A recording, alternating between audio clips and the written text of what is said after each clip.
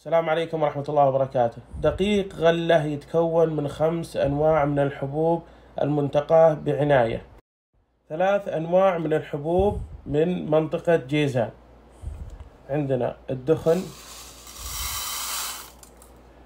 وعندنا الذرة الحمراء وعندنا الذرة البيضاء.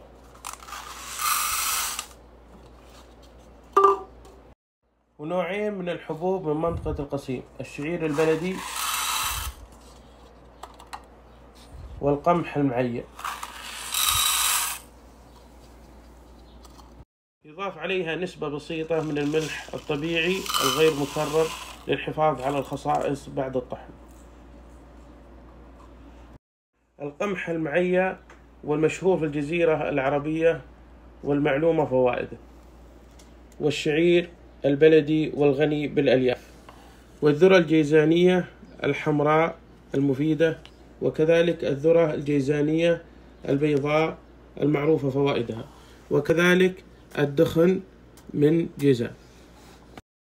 جميع هذه المكونات تجتمع في غلة بالألياف وبالقشرة كاملة.